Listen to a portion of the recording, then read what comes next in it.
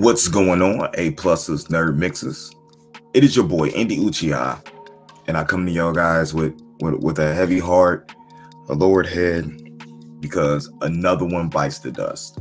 Um, as reported on comicbook.com, uh, we've talked about it here we we we've been wanting, we've been praying that we were actually going to get the spinoff from uh, Green Arrow and the Canaries uh, go, and it has been confirmed that um, the Berlanti verse is no longer going to continue on, and that it has been axed, canceled, or um, whatever.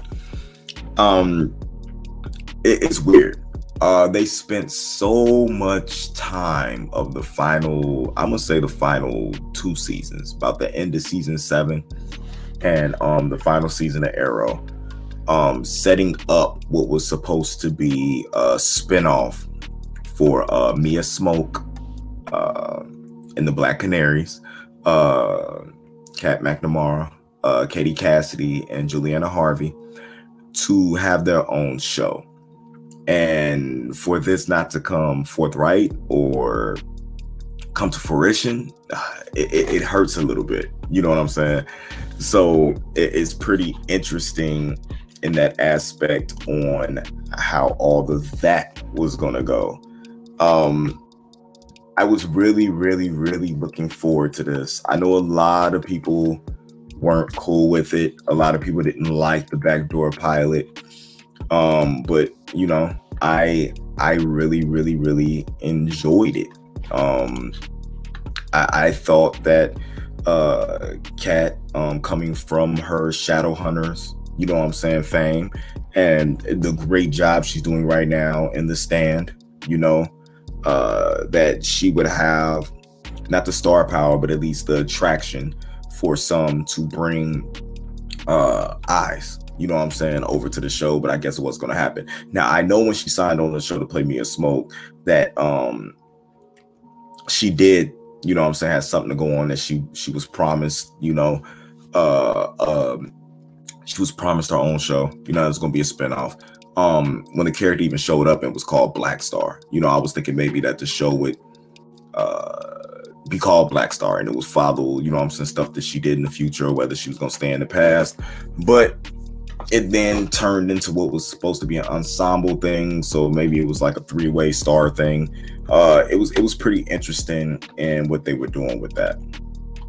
But as of right now we have no no no green arrow the canaries happening. As we see right here on uh variety the potential arrow spinoff about the canaries is officially dead at cw um, Variety has learned.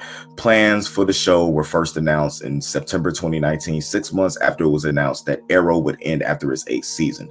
A backdoor pilot aired in January 2020 as part of Arrow season eight, titled Green Arrow and the Canaries. The episode took place two decades after the end of the original show and starred Catherine McNamara as Mia Smoak, Katie Cassidy as Laurel Lance, and Juliana Harvey as Donna Drake. My favorite version of Donna Drake, by the way. Uh, Cassidy began with Arrow in the show's pilot, though she was killed off in season four before she returned to season six. McNamara first joined Arrow in its seventh season, and Hark. excuse me, Harkavy has been with Arrow since season five and also appeared in multiple Arrowverse uh, shows. Um, it goes on to tell DC fans not the threat, as a number of new superhero shows currently in the works. You know, they got Wonder Girl, they got Naomi, they got the hopefully the Black Lightning spinoff of Painkiller coming on top of the Flash, Legends of Tomorrow, Batwoman, Superman, and Lois.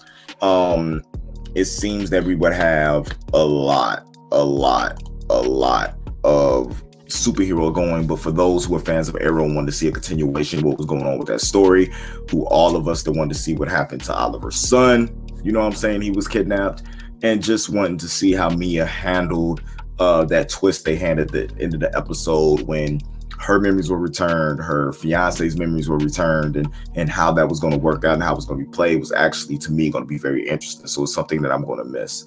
Um, maybe there's a chance for it to come back later. I know they were talking about some type of sim- simulcast where it was supposed to be HBO Max and possibly um the CW.